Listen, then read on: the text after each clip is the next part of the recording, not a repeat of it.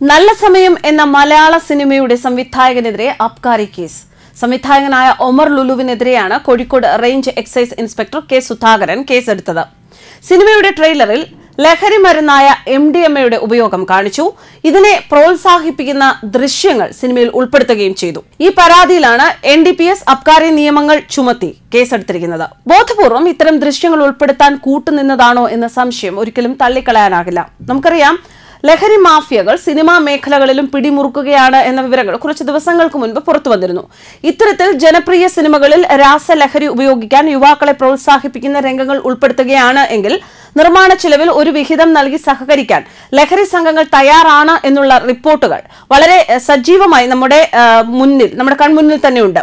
ഇത്തരത്തിലുള്ള രംഗങ്ങൾ ബോധപൂർവം ഉൾപ്പെടുത്താനായി സമീപകാലത്ത് സൂപ്പർ ഹിറ്റായ ഒരു തെന്നിന്ത്യൻ സിനിമയുടെ തിരക്കഥയിൽ തന്നെ വേണ്ട മാറ്റം വരുത്തിയതായും ഒരു വാർത്ത പുറത്തു വന്നിരുന്നു.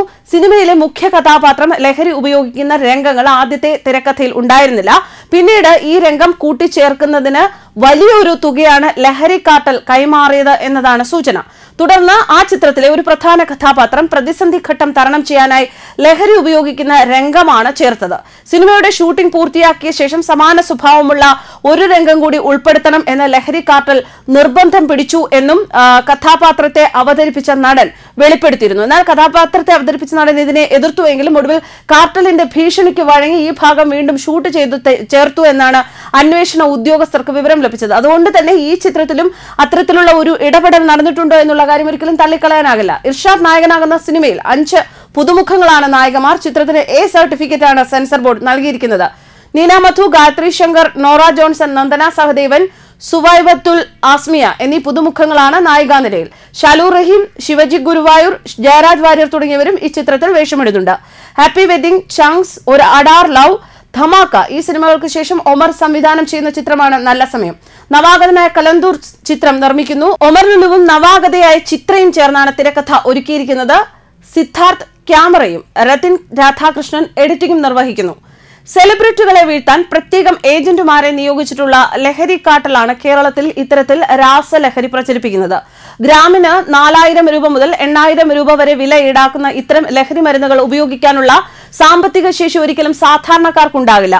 സെലിബ്രിറ്റികൾ ലഹരി ഉപയോഗിക്കുന്നതിന്റെ ദൃശ്യങ്ങൾ ഇന്റർനെറ്റ് അധോലോകമായ ഡാർക്ക് വെബിലെ ലഹരി പോർട്ടലുകൾ വഴി കാർട്ടലുകൾ പ്രചരിപ്പിക്കാറുമുണ്ട്. ഇവർക്ക് വേണ്ടി മാത്രം പ്രത്യേക സമൂഹ മാധ്യമ ഗ്രൂപ്പുകൾ ഉണ്ടാക്കി ഓരോ ദിവസവും ഇവരുടെ ലഹരി അനുഭവങ്ങൾ ഇതിൽ പങ്കുവയ്പ്പിക്കും. ഇത്തരം തുറന്ന അഭിപ്രായ പ്രകടനങ്ങൾ നടത്തുന്നതിന് കനത്ത പ്രതിഫലവും ഇവർക്ക് സൗജന്യമായി ലഹരി മരുന്നുമാണ് നൽകാറുള്ളത്. അതുകൊണ്ട് തന്നെ ഇത്തരത്തിലുള്ള ഒരുപാട് സാഹചര്യങ്ങൾ ഒരുക്കി കൊടുക്കുന്ന ഒരു സംഘം ഈ സിനിമാ ലോകത്തെ കേന്ദ്രീകരിച്ചും അതുപോലെ സെലിബ്രിറ്റികളെ കേന്ദ്രീകരിച്ചും പ്രവർത്തിക്കുന്നതുകൊണ്ട് ഈ മലയാളം സിനിമയുടെ സംവിധായകന്റെ സ്വയം തീരുമാനമായിരിക്കില്ല. ഒരുപക്ഷെ ഈ സംവിധായകനെ ഇൻഫ്ലുവൻസ് ചെയ്തിട്ട് ലഹരി കാട്ടൽ എന്ന് പറയുന്ന ആ ഗ്രൂപ്പ് ഇത്തരത്തിലുള്ള രംഗം ഉൾപ്പെടുത്താൻ ആവശ്യപ്പെട്ടതായിരിക്കും എന്ന സംശയവും നിലനിൽക്കുകയാണ്. News desk കർമാനസ്.